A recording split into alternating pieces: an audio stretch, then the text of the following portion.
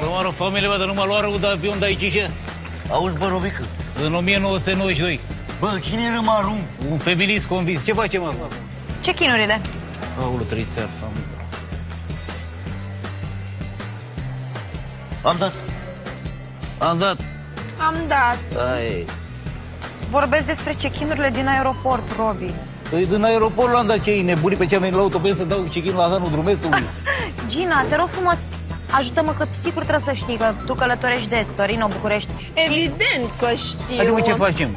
Păi ce să facem? Check-in-urile, că mai sunt 20 de minute până se deschid. Hai. Că de ce stau acum 20 de minute după ea, haideți să mergem și le facem când ne întoarcem. Când ne întoarcem, îl facem din Paris, Robi. Bă,